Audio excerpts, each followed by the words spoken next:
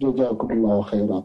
تقول أختنا سبق لي أن أديت فريضة الحج وأريد أن أتطوع بحديث الرسول صلى الله عليه وسلم إذا نقص عمل ابن آدم. قال انظروا هل لعبدي من تطوع؟ هل يجوز إخراج حجة لي وذلك لعدم توفر المحرم؟ جزاكم الله خيرا. نعم. تقول أختنا سبق لي أن أديت فريضة الحج وأريد أن أتطوع لحديث الرسول صلى الله عليه وسلم إذا نقص عمل ابن آدم قال انظروا هل لعبدي من تطوع؟ تسأل أيضا هل يجوز إخراج حجة لي وذلك لعدم توفر المحرم؟ ما دمت أديت الفريضة الحمد لله فإن تيسر أن تحجي تطوعا بوجود المحرم فهو زيادة خير وإن لم يتيسر فالفريضة كافية والحمد لله.